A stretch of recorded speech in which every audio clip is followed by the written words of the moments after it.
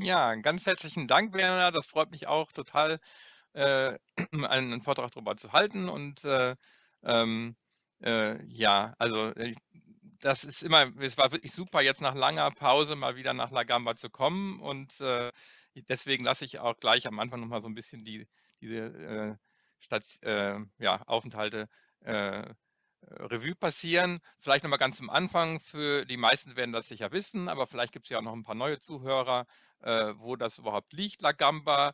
Äh, ne, ich meine, viele kennen die Station. Das ist also mit dem Regenwald der Österreicher im Süden von Costa Rica gelegen. Also hier so eine Übersichtskarte.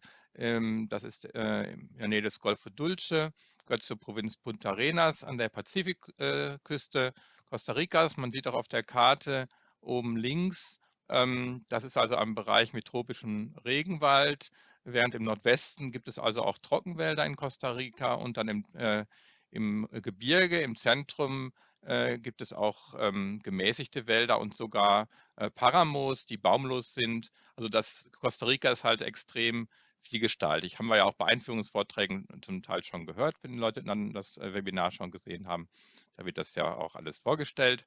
Aber nun mal kurz zur Einordnung. Und ich habe jetzt auch in meinem Vortrag mich wirklich äh, auch schwerpunktmäßig darauf beschränkt, auf diese Region.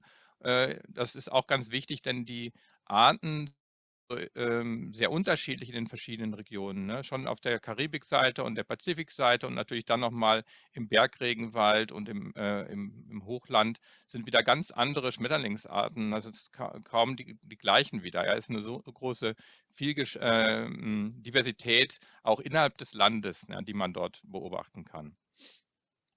Ähm, ja, vielleicht mal erstmal ein paar Bilder noch aus der äh, ja, äh, damaligen Zeit. Das war also das erste ähm, Praktikum war im Jahr 2006. Ähm, da war nur eine kleine Runde von Studenten mit. Das war auch ganz gut zur Eingewöhnung und um, um das Land überhaupt mal kennenzulernen. Für mich war das erste Mal auch länger äh, in der Neotropis äh, mit Schmetterlingen zu arbeiten, äh, mit Ausnahme eines kleineren Aufenthalts in Brasilien, noch, noch viel früher. Ähm, und äh, auch das hat Werner mitgeleitet. Das war also äh, so der Anfang. Dann gleich im Jahr drauf, 2007, äh, waren wir dann schon eine größere Gruppe die, äh, und haben auch uns ein bisschen mehr noch im Land umgesehen. Man sieht hier also die Truppe mit Werner auch äh, äh im Bergland von Costa Rica. Äh, dieses Mal war noch der Christian Schulze mit dabei, ein anderer Assistent auch von der Uni Wien. Der ist hier links im Bild. Äh, und da waren dann auch, ja, also nicht nur Schmetterlingsthemen, sondern auch zum Beispiel äh, Vögel waren auch ein Punkt, der, die bearbeitet wurden. Und aus dieser Zeit ähm, gab es dann auch eine Publikation schon mal, in der wir äh, die Diversität untersucht haben in verschiedenen Habitaten um die Station herum. Also man sieht hier die ähm, ähm, ja, ausgefüllten Bereiche, das sind die natürlichen, äh, naturnahen ähm, Habitate, also Primärwald, Gebiete ähm, und die anderen, das sind dann die stark gestörten Bereiche, also Sekundärwälder, Ölpalmenplantagen oder die Weiden in der Umgebung. Und das ist ja auch das Besondere, dass in der Nähe der Station La Gamba sehr unterschiedlich anthropogen beeinflusste Habitate zu finden sind. Und das war also eine gute Gelegenheit, das auch zu studieren. Und man sieht also auch sehr schön in dieser Abbildung, dass also diese äh, gestörten Habitate sich doch relativ ähnlich sind während die Primärhabitate, obwohl die also räumlich auch nah beieinander liegen, ja, also es hat nichts mit der räumlichen Entfernung zu tun, äh, sehr viel unterschiedlichere Artenausstattung haben, was eben zeigt, wie wichtig die, der Erhalt des Regenwalds ist, weil man sonst eine, äh, in den gestörten, also nur eine kleine Auswahl immer wieder der gleichen Arten findet. Also das ist, äh, kann man hier ganz gut sehen. Die Publikation war mit dem Konrad Fiedler, das war mein damaliger äh, ja, ähm, der Leiter der, des Departments, äh, wo ich angestellt war, ne, an der äh, Uni Wien. Ähm, dann äh, war ein Jahr Pause, weil da äh, war eine Exkursion nach äh, Indonesien mit dem Christian Schulze zusammen um Konrad Fiedler. Und dann im Jahr drauf äh, war ich nochmal mit dem Johannes Späte dort. Der ist hier ganz in der Mitte zu sehen, vor diesem eindrucksvollen Baum mit einer richtig großen Gruppe von Studenten diesmal. Äh, und da äh, haben wir also sehr unterschiedliche Themen bearbeitet, darunter auch Schmetterlingsthemen, aber auch Themen zu Bienen zum Beispiel weil das der Schwerpunkt äh, Johannes Arbeit ist. Ne? Zum Beispiel die tollen Prachtbienen, die es da gibt und andere.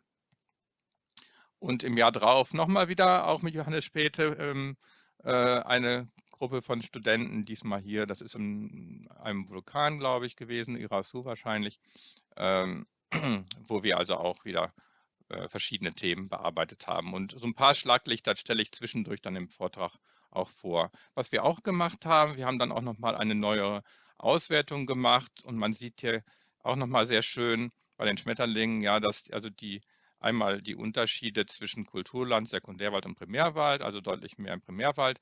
Man sieht aber auch, dass jedes Jahr auch die, selbst die geschätzte Artenzahl immer wieder gewachsen ist. Also man kann mit bestimmten Methoden äh, aus den tatsächlich gefundenen Arten auch Artenzahlen schätzen.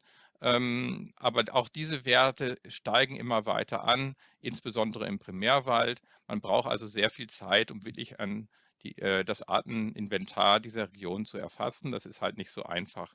Und ähm, ja, also wir sind jetzt schon bei über, äh, dann bei über 200 Arten gewesen. Die Zahlen zeige ich auch gleich nochmal.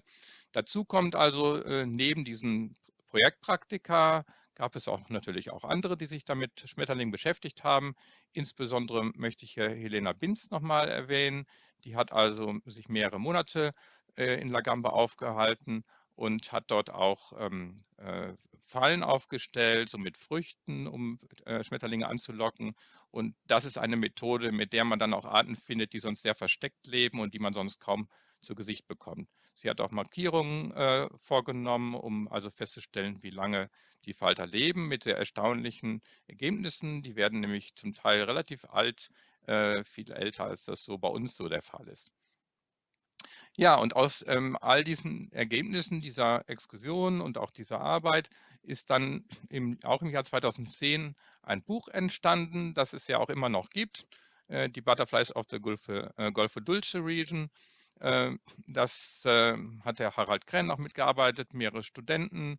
Und ähm, das ähm, zeigt also eine schöne, den Über, einen Überblick über die äh, Diversität, aber auch nur äh, einen kleinen Ausschnitt so ähm, einige Daten vielleicht mal, so dass man eine Idee hat, äh, wie die Diversität dort ist. Also Costa Rica ist ein Land mit 51.000 Quadratkilometern, ist also etwas kleiner als Österreich und ähm, dort sind ungefähr, ja, wahrscheinlich ist das schon wieder ein bisschen veraltet, über 1300 Tagfalterarten bekannt. Äh, da muss man jetzt auch sagen, ja, der Vortrag heißt die Schmetterlinge Lagambas aber man weiß so relativ wenig über die Nachtfalter bisher. Man weiß nur, dass also Tagfalter ungefähr nur 10% aller Schmetterlinge darstellen. Ja, also das heißt, wahrscheinlich gibt es dort äh, ungefähr 15.000 Schmetterlinge, aber mh, hm, viele Arten sind auch noch unbeschrieben und äh, die, eine genaue Zahl weiß man gar nicht. Äh, von diesen Tagfaltern sind bisher 280 äh, sicher nachgewiesen. Es gibt sicherlich noch, noch deutlich mehr. Ähm, und die werden sicher in den nächsten Jahren dann noch gefunden. Äh, zum Vergleich, in Österreich gibt es mal 215 Tagfalterarten, ja, also nur ein kleiner Ausschnitt, und in Wien äh, 135. Ja. Also man sieht, ähm, Costa Rica ist sehr artenreich. Generell ist die Neotropis, also Süd- und Mittelamerika, äh, die artenreichste Region für Schmetterlinge. Und äh, ja, Costa Rica mit seiner ähm, Diversität von Lebensräumen ist da auch, äh, steht da auch sehr weit oben. Noch etwas mehr gibt es dann vielleicht noch in Peru, in Ländern, also wo, noch, wo es noch Anden, noch höhere Gebirge gibt. Aber äh, Costa Rica ist dann schon sehr, hat eine sehr hohe Diversität. Ja, und dann war ich eben sehr froh, nach langer Pause ähm, mal wieder dieses Jahr in Costa Rica zu sein mit einer Studententruppe der Uni Potsdam. Ähm, und äh, Diesmal war der Thomas Schmidt äh, mit dabei, der ist hier zu sehen und äh, hat auch gleich einen Schmetterling auf der Hand. Ähm, das war also eine tolle Möglichkeit. Das ist diesmal ist übrigens kein Projektpraktikum gewesen, sondern eine Exkursion. Das ist ein bisschen anders als in Wien. Äh, und wir haben auch relativ viel Zeit äh, außerhalb Lagambas verbracht in den verschiedenen äh, Lebensräumen, also wirklich alles vom Trockenwald bis zum Paramo. Und in Lagamba haben wir aber auch einige äh, Tage verbracht und haben da erstmal eine spezielle Studie durchgeführt, und zwar ähm, ein relativ umfangreiches Fang-Wiederfang-Experiment mit drei relativ häufigen Arten. Ähm, das ist im Regenwald eher schwer zu machen, weil die meisten Arten da eher selten sind, also eine hohe Diversität, aber eine geringe Individuendichte. Und deswegen haben wir uns für diese Experimente eine, naja, äh, eine Ölpalmplantage ausgesucht. Die ist halt nicht so divers, aber äh, die Arten, die dort vorkommen, sind ziemlich häufig. Und ähm, was man dann macht, ist, äh, die Tiere kann man mit einem Stift beschriften und kann dann eben feststellen, ja, wie ähm, die Mobilität dieser Arten ist und auch die Anzahl in einem bestimmten Gebiet. Diese Daten sind jetzt noch nicht alle ausgewertet. Ich habe nur eine schnelle provisorische Auswertung mal gemacht, um ein kleine, so eine Idee zu haben, was wir da gefunden haben. Also man sieht hier unten diese drei Arten, alle gehören zu den Edelfaltern. Und ähm, man sieht zum einen die Neufänge, die Anzahl der Wiederfänge darunter und die daraus mit speziellen Programmen geschätzte Zahl der wohl tatsächlich in diesem Bereich von 10 Hektar äh, vorhandenen Falter äh, mit einer Dichte von 20 bis 40 Faltern pro Hektar. Das ist also schon recht beachtlich. Und die genaueren Mobilitätsauswertungen müssen wir halt noch machen. Ja, das sind so ein paar äh, Schlaglichter zur Geschichte, also meiner Geschichte, meiner Beziehung zu La Gamba. Und dann jetzt gehe ich mal ein bisschen in, zu den Schmetterlingen. Ähm, wie gesagt, Schmetterlinge sind äh, Nachtfalter und Tagfalter, eigentlich größtenteils Nachtfalter. Aber äh, da habe ich relativ wenig jetzt zu gemacht, deswegen zeige ich nur wenige äh, Nachtfalter. Einmal dieser hier, den hatten wir ja eben schon mal gesehen auf der Hand äh, von Thomas. Das ist einer der größten in Costa Rica, also sehr eindrucksvoll, äh, als Nachtfalter auch zu erkennen anhand der Fühler. Die sind ja meistens bei Nachtfaltern eben sehr vielgestaltig und nicht so ähm, keulenförmig verdickt wie bei Tagfaltern, aber es gibt da auch in Tropen Ausnahmen. Äh, hier als Beispiel auch nochmal ein andere, das ist ein Augenspinner und hier mal noch eine andere Art von Augenspinner, die ist in diesem Fall aus dem Gebirge. Ähm, aber es gibt auch, das sind also sehr große Arten, es gibt aber durchaus auch sehr kleine Arten, wie zum Beispiel hier ist ein ganz kleiner Wickler, trotzdem oft auch sehr farbenprächtig und, äh, äh, und auffällig. Dann, ähm, ja, diese Falter, da denkt man, das wäre also ein, äh, eher ein Tagfalter, der fliegt nämlich auch tagsüber rum ähm, und gehört zu der Familie der Kastneiden, die gibt es bei uns gar nicht, äh, ich glaube eine Art im Mittelmeerraum. Und dieser äh, Falter flog äh, direkt äh, an dem Commodore herum sogar, direkt an der Station, äh, ist, ist, aber in, auch ein Nachtfalter, gehört nicht zu den Tagfaltern. Und eine weitere Art ähm, von Nachtfaltern, wo man auch denkt, naja, das ist ja so ein bunter und der sieht so aus wie ein Schwalbenschwanz ein bisschen und fliegt auch wirklich am Tag herum äh, mit ähm, äh, schillernden Farben, grünen Farben. Das ist eben auch eine Nachtfalterart, die gehört zu den Uraniden. Orania fulgens in dem Fall. Ja, das war nur ein Beispiel für einige äh, Nachtfalter und ich weiß nicht, ähm, es gibt natürlich äh, auch jetzt Studien dazu, die gerade noch laufen und vielleicht hören wir da mal einen Vortrag. Auch der Armin Dett hat ein ganz tolles Buch geschrieben. Ich kann das hier mal zeigen. Äh, das äh, ist auch in der Gamma entstanden und der hat dort ganz tolle äh, Fotos der Nachtfalter angefertigt, ähm, die die Tiere auch in ihrer lebenden Haltung zeigen. Äh, also das kann ich dringend auch empfehlen für Leute, die sich für Nachtfalter interessieren. Und das ist halt auch eine extrem spannende Gruppe mit sehr viel, einer großen Formenvielfalt, sehr farbigen Arten, oft auch, manche sind auch unscheinbar, also es gibt alles dort. Ne? Sehr, äh, äh, auch eine sehr interessante Gruppe. Ja, aber jetzt kommen wir also dann äh, schwerpunktmäßig weiter zu den Tagfaltern und fangen an hier mit den Schwalbenschwänzen. Einmal äh, ist das eine der auffälligsten Familien. Zum Zweiten ist es auch tatsächlich phylogenetisch die älteste Gruppe. Also das ist nur die, eine basale Gruppe bei den Tagfaltern tatsächlich.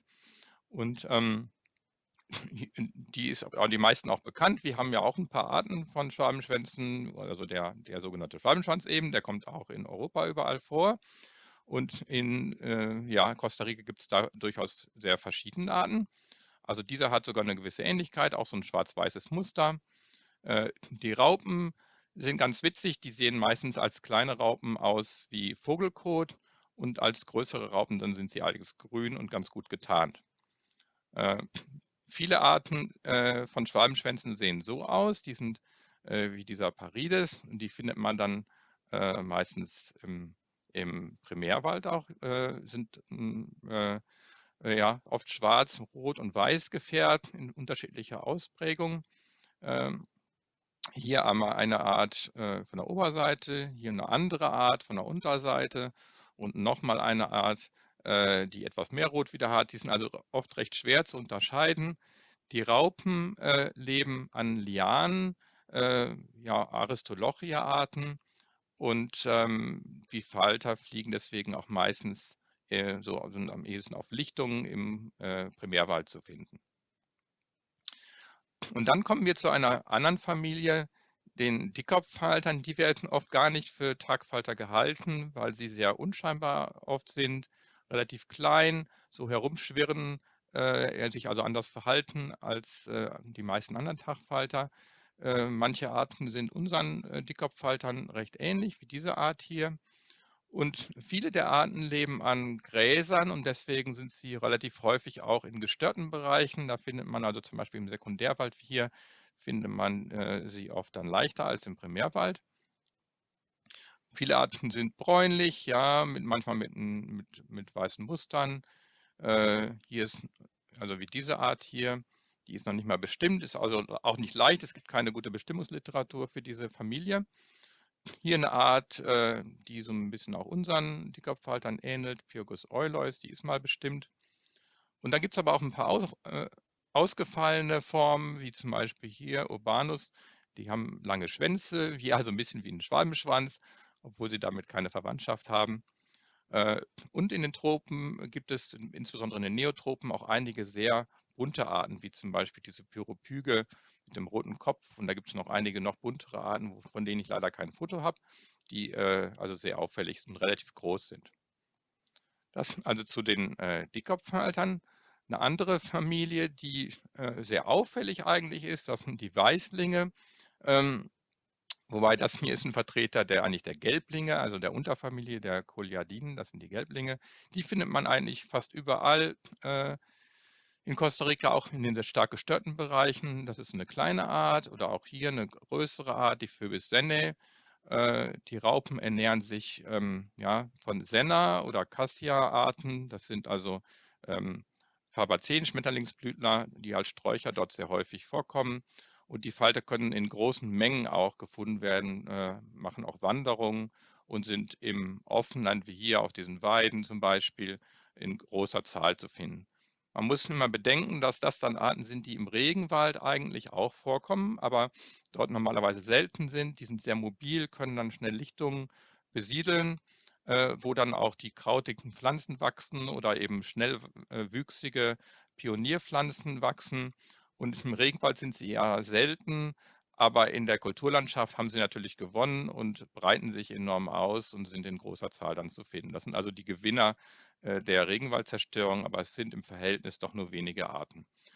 Und auch bei den Weißlingen gibt es ähm, auch nicht nur solche Arten zum Beispiel, sondern hier ein ganz was Witziges, ähm, so ein bisschen durchsichtige Art, die findet man also nicht so in der Kulturlandschaft. Und die ähm, ist auch gleich ein erstes Beispiel für äh, eine besondere Form von äh, Mimikrie, also das Nachahmen anderer Arten. Also es gibt sehr ähnliche Arten, die auch so äh, ausschauen. Wir haben dann nachher nochmal ein paar nette Beispiele. Das also zu den Weißlingen. Dann ähm, eine äh, große Gruppe von Arten sind die Bläulinge. Die sind dann häufig eher klein und nicht so äh, ein bisschen unscheinbarer, aber haben oft schöne, äh, auch farbige blaue eben Oberseiten. Äh, die Bläulinge, die bei uns eigentlich häufig sind, die Gruppe, das sind diese Polymatien, da gibt es relativ wenige, weil das sind nämlich Arten offener Lebensräume. Äh, das ist äh, hier eine Art, die man da findet. Viel häufiger sind die ganzen Zipfelfalter. Und die Zipfelfalter, da gibt es in Europa nur relativ wenig Arten äh, und in den Neotropen ganz, ganz viele. Die leben nämlich meistens an Bäumen als Raupe und ähm, die findet man oft da in den Baumkronen.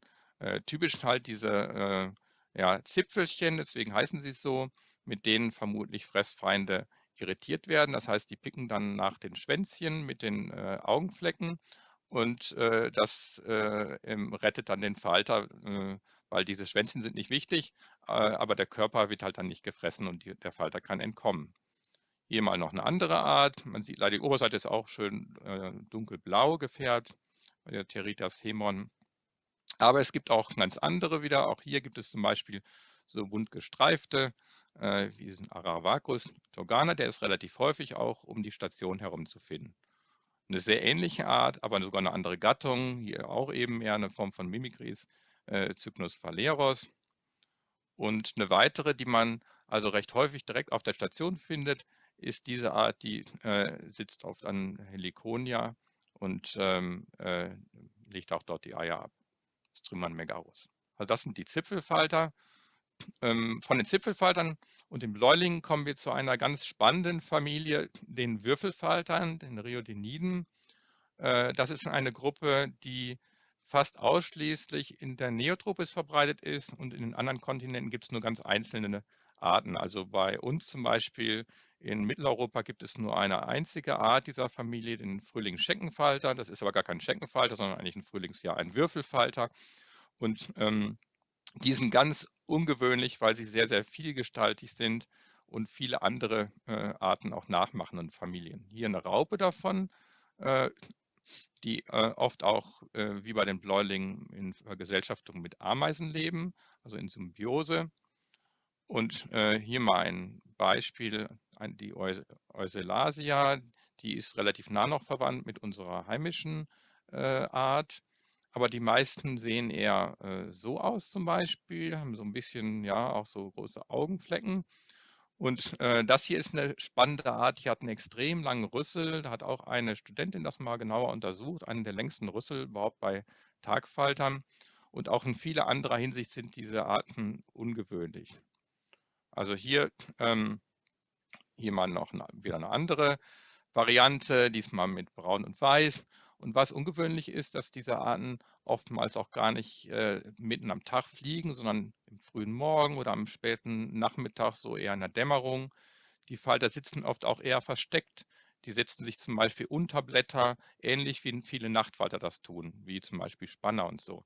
Und deswegen entgehen sie, entgehen sie oft unserer Aufmerksamkeit und werden oft übersehen. Also man muss schon wirklich sehr genau hingucken, um diese Arten zu finden. Viele sind auch, manche sind auffällig oder denken auffällig, aber manche sind auch sehr klein. Das ist zum Beispiel eine sehr kleine Art, die äh, man schnell übersehen kann. Ähm, und Calophyllus laverna, aber sehr hübsch auch gezeichnet.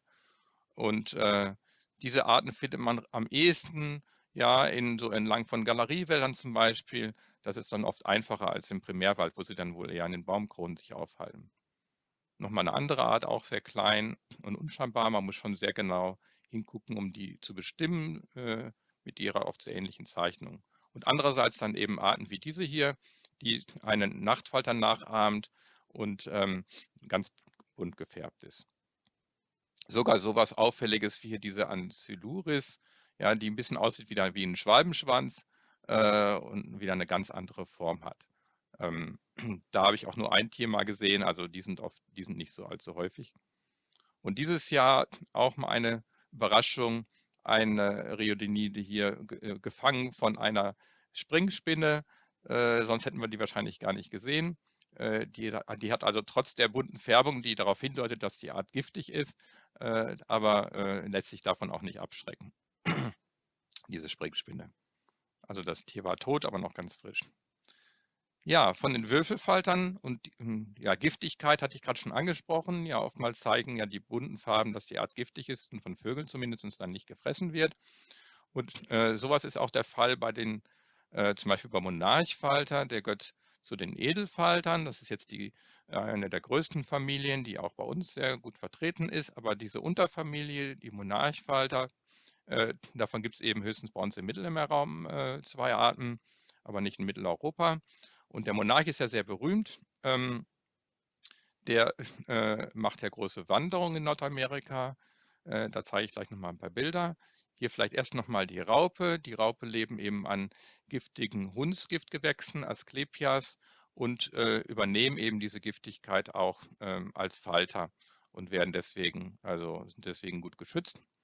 Äh, in Nordamerika ist die Art halt wohl die bekannteste Schmetterlingsart überhaupt Und, äh, des und zwar deswegen, weil sie nur als Wanderfalter auftauchten, dann in großen Scharen, ähm, in Mexiko überwintert. Und ich hatte das Glück, einmal auch nach einem Aufenthalt in La Gamba zusammen mit dem Werner mal in Mexiko das auch zu sehen auf dem Rückweg in den Bergen, ähm, in, gar nicht weit von Mexico City tatsächlich. Also da äh, äh, sieht man diese Stellen und die, das sind wenige kleine Gebiete in den Wäldern dort, äh, wo die Falter überwintern.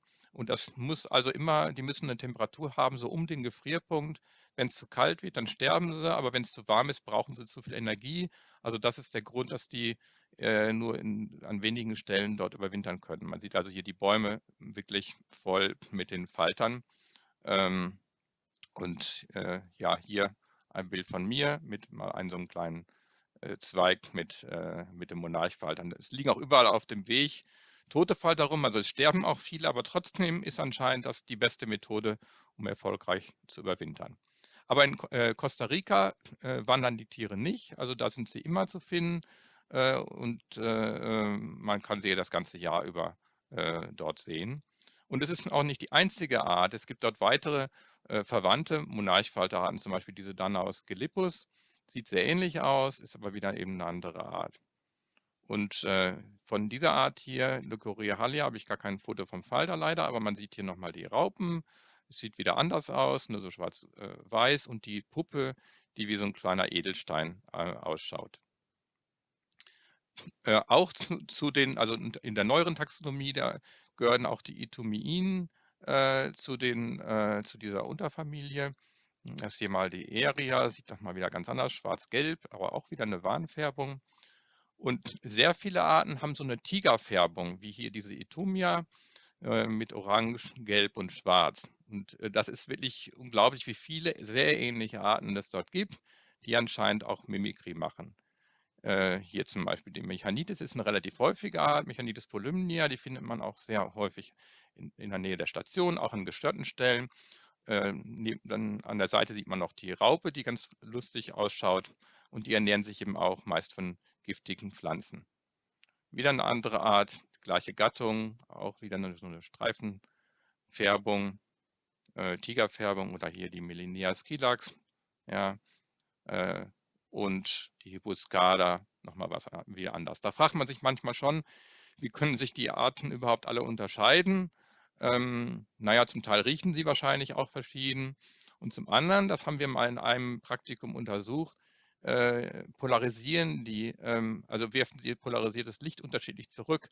Wir können das nicht sehen, aber äh, Schmetterlinge können das sehen. Also hier ist zum Beispiel ein Beispiel von drei sehr ähnlichen Arten und man sieht, dass die ersten beiden also kein polarisierendes Licht zurückwerfen, aber die dritte äh, schon.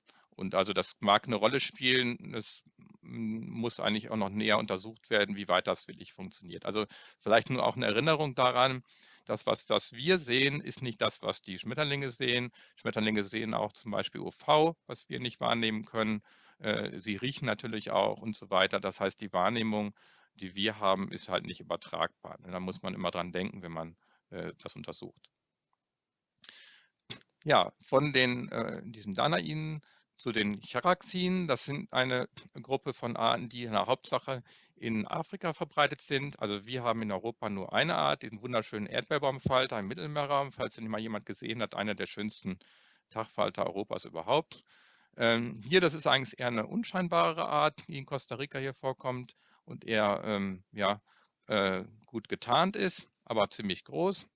Eine andere hier, Consul Fabius, das gleiche, sieht aus wie ein Blatt, und äh, noch eine, die Fontanea ebenfalls. Oberseits sind die oft relativ bunt, lassen sich aber leider äh, so nicht fotografieren, weil die immer ihre Flügel zusammenklappen.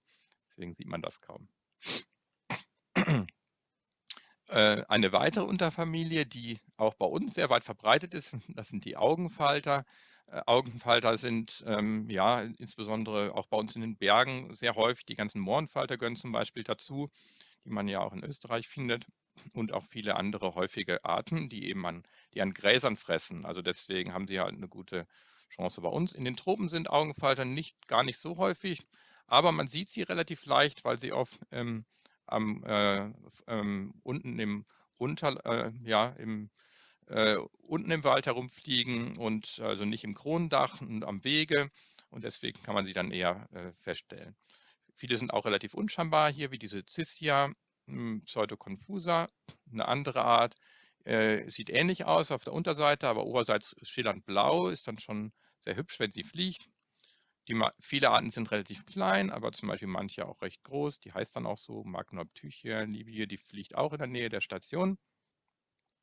Und manche, die werden eher wirklich äh, kaum beachtet, wie zum Beispiel hier diese Hermoptychia hermes. Ähm, die sieht wirklich nach nichts aus, sehr klein und eher unscheinbar. Und das hat auch dazu geführt, solche Arten werden eben oft nicht so beachtet.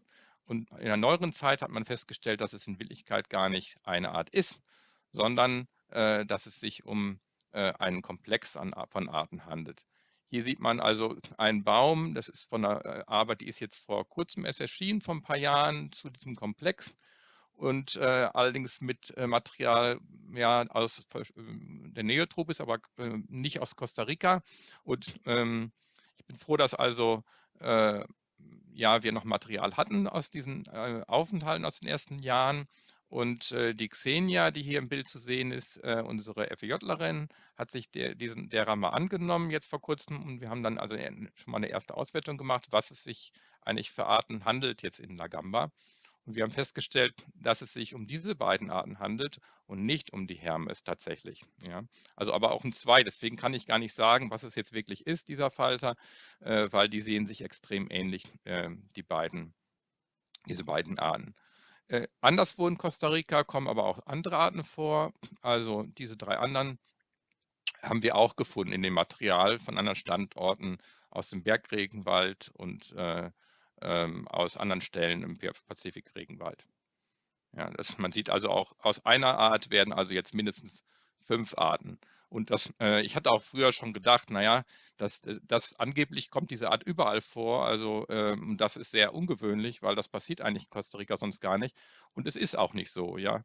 Also diese äh, Hermes kommt tatsächlich nur um San Jose vor anscheinend und die anderen eben, manche nur im Bergregenwald, manche nur im Tiefland. Und ähm, äh, die, das sind eben doch unterschiedliche Arten, ja, wie ich das am Anfang auch schon mal gesagt habe. Ähm, das war halt noch nicht beachtet. Also wir müssen daran denken, dass vielfach noch kryptische Arten da lauern und noch äh, unentdeckt äh, sind. Eine andere relativ ja, auffällige Augenfalter, hier mal so ein bisschen mit einem Streifenmuster, sowas ähnliches hatten wir ja auch schon mal bei anderen Arten gesehen, auch bei Bläulingen, die kann man fast verwechseln, die sehen sich äh, auch relativ ähnlich von Weitem. Oder hier eine Art, die wie ein Blatt ausschaut, die Pierella luna. Und ähm, manche, die haben auf der Oberseite dann noch auffälligere Färbung. Hier ist mal ein Beispiel von einer Art, wo dann der Hinterflügel beschädigt ist. Da hat anscheinend schon mal ein Vogel nachgepickt und man sieht also äh, deswegen die Oberseite durch. Die würde man sonst gar nicht erkennen. Ja, deswegen sieht man hier die Farbe. Und es gibt auch hier manchmal, wie man das in anderen Gruppen auch hat, sogar durchsichtige Arten wie diese Citeria spireta, äh, wo man durchschauen kann, aber auch wieder mit den Augenflecken auf den Hinterflügeln. Ja, Augenflecken, Augenflecken. Hier ähm, bei den äh, ist auch eine sehr auffällig, diese Bananenfalter, die haben vielleicht, ja, kennen manche vielleicht auch aus den Schmetterlingshäusern, äh, äh, wo die gerne gezeigt werden. Die fliegen oft in der Dämmerung erst, sind, sitzen sonst irgendwo an einem Stamm tagsüber herum, also die fliegen tagsüber kaum herum und haben auch diese extrem auffälligen Augenflecken. Ja, die Raupen ernähren sich also von manchen Arten zumindest, äh, also von Bananen, deswegen sind die zum Teil relativ häufig. Hier, das ist so mal ein Beispiel für die Raupen hier auf der Unterseite eines Bananenblatts. Und wir haben uns mal schon mal gefragt, ja, was hat eigentlich, äh, haben diese Augenflecken wirklich von Einfluss? Äh, hilft das, dass sie nicht gefressen werden? Und wir haben dann in einem äh, Kurs mal äh, Experimente gemacht äh, mit künstlich veränderten Augenflecken. Ja? Das, wir haben also die ausgedruckt und äh, im Computer verändert. Man sieht größer, kleiner gemacht oder ganz äh, eliminiert und dann geschaut. Wir haben das äh, dann einen Mehlwürmer da angebracht und geguckt, äh, ob die dann gefressen werden. Und man sieht also in der Grafik unten, dass äh, also die beste Überlebensrate hat tatsächlich der Wildtyp, das ist oben die blaue Kurve, während die Veränderten eine geringere Lebenserwartung haben. Also Auch der mit den sehr großen Augenflecken. Vielleicht ist das dann doch zu auffällig. Vielleicht gibt es dann irgendwie so 'ne, ja, ähm, optimale Größe, ja. Ni nicht zu groß, nicht zu klein, äh, damit man, äh, am möglichst nicht gefressen wird, während man da sitzt am Baumstamm. Noch mal 'ne ganz andere Gattung, auch hier, die ist sehr, sehr unauffällig. Die, äh ja, das war mein Glücksfall. Habe ich, glaube ich, auch nur ein Tier mal gefunden. Da muss man schon viel Glück haben, die überhaupt mal zu sehen. Hier diese Catoplegia zum Beispiel. Und aber relativ nah verwandt und auch zu den Augenfalter inzwischen gehörig sind die Morphus. Das sind natürlich so die mit die berühmtesten Schmetterlinge Südamerikas mit ihren, ähm, blau Oberseiten. Hier Morpho Helenor ist so einer der, äh, ja, häufigsten Arten. Und da habe ich tatsächlich auch mal Glück gehabt, einmal die Oberseite zu erwischen, was echt selten ist, weil wie gesagt, normalerweise falten die die äh, Flügel immer zusammen und sehen dann eben so aus, ja. Und auch wieder mit den Augenflecken, ne? Das ist die gleiche Art, der Morpho Helenor. Die Raupen hier sehen ganz witzig aus mit, äh, langen Haaren. Und diese Arten werden jetzt oft auch halt in Schmetterlingshäusern gezeigt, wo man sie auch bewundern kann.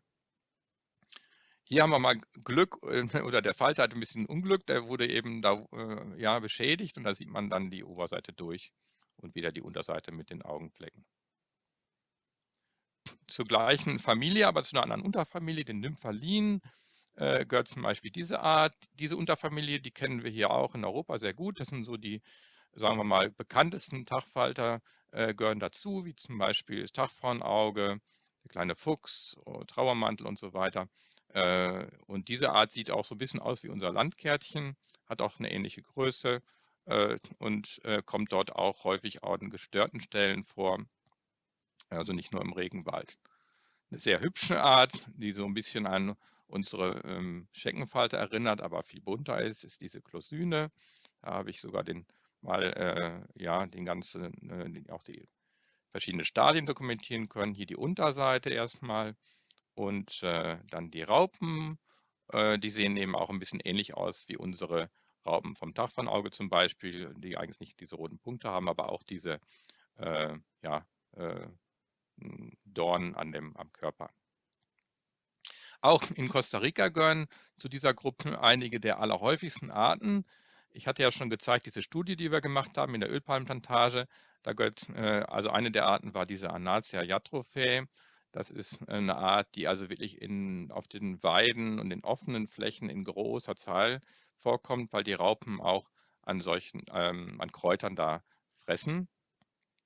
Also hier zum Beispiel so 'ne hier, das ist die Weide da in der Nähe der Station. Da kann man die also in wirklich in ganz großer Zahl finden. 'Ne andere Art, die 'n bisschen mehr, äh, Schatten braucht, also eher so 'n bisschen am Rande, äh, von Wäldern fliegt oder eben auch Ölpalmenplantagen oder da, wo 'n bisschen Sträucher stehen, ist diese Anatia fatima, also die gleiche Gattung, sieht aber ganz anders aus. Und zum Beispiel hier diese Ölpalmenplantage, das war die, wo wir diese Studie gemacht haben. Äh, da war diese Art sehr häufig. Auch verwandt ist diese hier, die ist aber relativ selten, die Junonia everete, die hat auch sehr auffällige Augenflecken auf der Oberseite. Die sieht man dann eher vereinzelt. Und, ähm, ja, eine eine der größten Arten, äh, ja, oberseits so braun, äh, hell und dunkelbraun gefärbt, unterseits wieder wie ein Blatt, hier an einer Banane saugend, kann man auch mal vereinzelt sehen. Und abgesehen von diesen, äh, Tarnfarben also es gibt sogar grüne, äh, Tagfalter, das sind eigentlich sehr wenige Arten, die so grün sind. Äh, aber wir werden später noch mal 'ne andere sehen, die sich die dieser hier sehr stark ähnelt, und und aber zu 'ner ganz anderen Unterfamilie gehört. Das ist hier die Cypripter stillenes und die ist wirklich super gut getarnt dann im Regenwald. Auch zu dieser Unterfamilie gehört diese Collobura dirce mit 'ner sehr auffälligen Fleckenzeichnung. Es war dann 'ne Überraschung, als man vor wenigen Jahren dann, äh, 'ne neue Art entdeckt hat, äh, die also gar nicht bekannt war der Wissenschaft und die dieser Art sehr ähnlich sieht, aber 'ne ganz bisschen andere, äh, Fleckenzeichnung hat. Also die eine Binde ist 'n bisschen breiter und so und, äh, das war also auch eigentlich 'ne kryptische Art.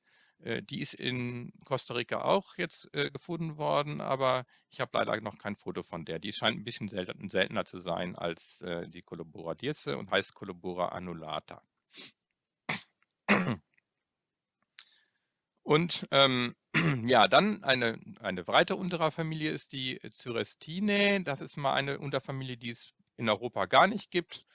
Und, ähm, ja, die vereint so 'n bisschen 'n paar Merkmale von manchmal von von anderen Familien wie Schwalbenschwänzen mit diesen, äh, Edelfaltern, hier auch mit diesen Schwänzchen halt, ist aber 'n auch 'n Edelfalter. Äh, hier Mapesia merops, sehen wirklich ganz hübsch aus. Und, äh, hier gleiche Gattung, aber dann 'ne ganz auffällige Färbung, diesmal mit so 'nem Rotbraun, ja, die Mapesia petreus. Unterseits ist die auch wieder sehr gut getarnt wie ein Blatt. Eine weitere Unterfamilie, auch diese kommt, äh, in Europa nicht vor, das sind die Biblidinen, äh, auch sehr vielgestaltig. Da gibt's einmal zum Beispiel diese Dynamine-Arten, die sind sehr bunt zum Teil und, ähm, saugen meist nicht an Blüten, sondern zum Beispiel an feuchten Stellen, so 'n bisschen wie unsere Schillerfalter. Da gibt's auch sehr ungewöhnliche Arten wie diese Hamadryas. Auf Englisch heißen die auch Cracker, weil die nämlich, äh, knackende Laute von sich geben. Ähm, wenn sie also fliegen auch in der Nähe der Station herum und wenn die so Paarungsspiele machen, hört man das also laut knacken. Das ist also schon, äh, sehr ungewöhnlich, wenn man das hört. Das sind, soweit ich weiß, außer dem Totenkopf, der manchmal so Zirplaute macht, so die einzigen, äh, Tagfalter, von die so Töne fabrizieren.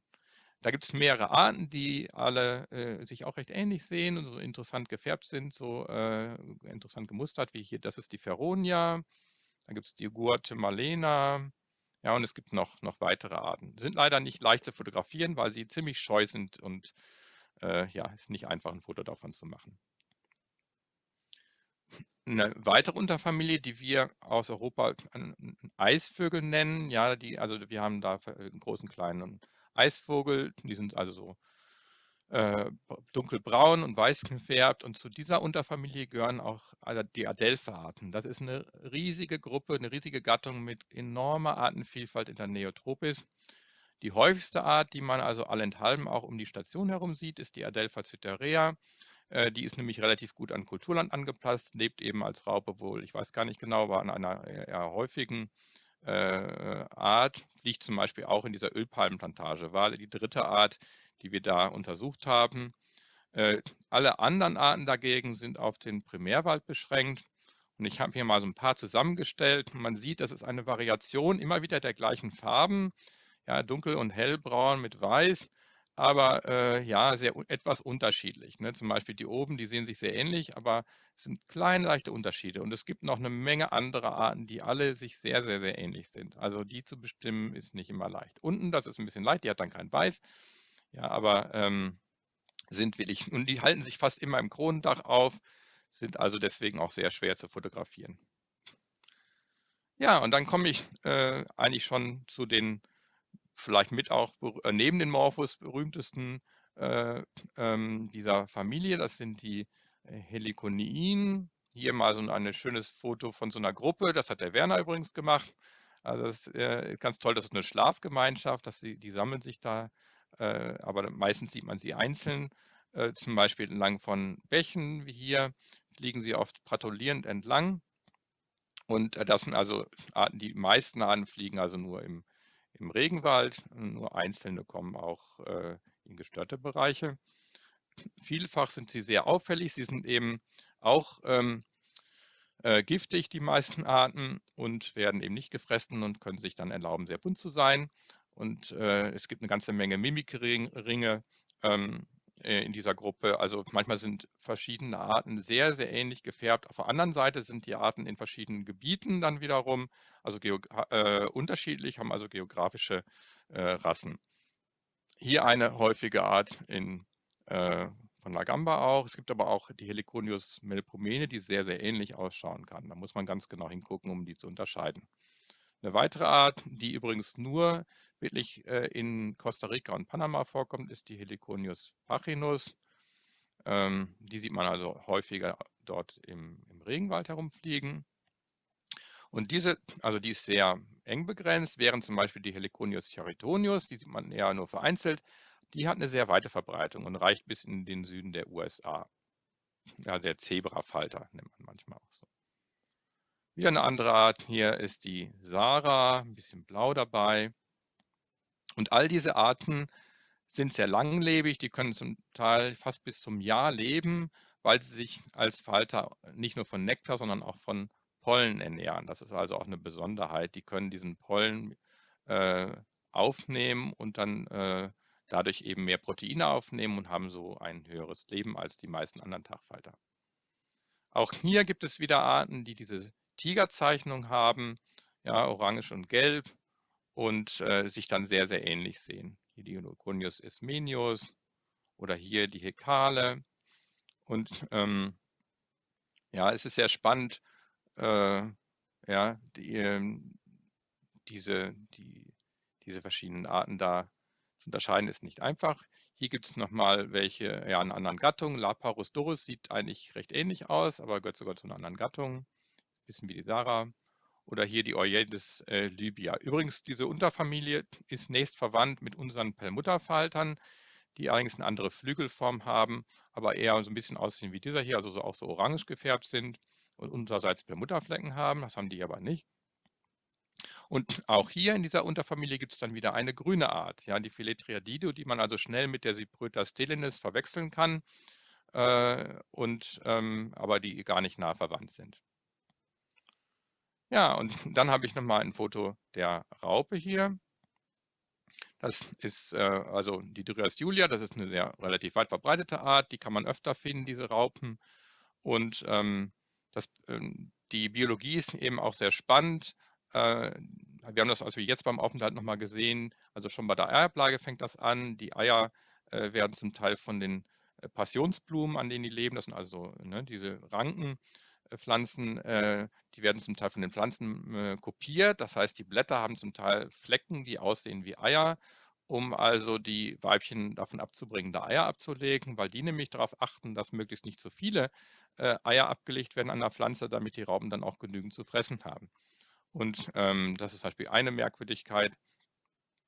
Und wer die Raupen mal sehen will und die Puppen, die kann man auch sehr oft in Schmetterlingshäusern sehen, weil das eine der wenigen Arten ist, die man ähm, oder Gruppen, die man sehr gut auch bei uns äh, züchten kann. Die vermehren sich ganz gut und ähm, zum Teil vermischen sich dann auch die verschiedenen Unterarten äh, miteinander und auch Arten sogar. Und äh, inzwischen sind diese Heliconius-Arten auch eine Modellgruppe geworden für Forschung zur Artbildung und Hybridisierung. Das kommt nämlich dort ziemlich oft vor und es hat sich sogar gezeigt, dass auch dadurch neue Arten entstehen können. Das hat man lange nicht äh, für möglich gehalten, aber in dieser Gruppe wurde das bewiesen, dass also Hybridisierung zwischen Arten auch äh, zur Artbildung führen kann und dass auch diese Merkmalskomplexe zum Teil anscheinend übertragen werden können zwischen verschiedenen Arten. Also das ist sehr spannend in evolutionsbiologischer Hinsicht und äh, da hat man auch sehr viel dazu gelernt für die gesamte Biologie. Ja, und dann mit diesem äh, Foto bin ich dann auch äh, zurück. Das war so ein kleiner, äh, ja, am Ende meines Vortrags äh, und hoffe, ich konnte mal einen kleinen Überblick zeigen über die Vielfalt ähm, der äh, neotropischen Tagfalterarten und vielleicht hat der eine oder andere dann auch mal Lust, sich damit näher zu beschäftigen. Äh, und ich bedanke mich sehr für die Aufmerksamkeit und bin, stehe jetzt gerne noch für Fragen zur Verfügung. Ganz herzlichen Dank.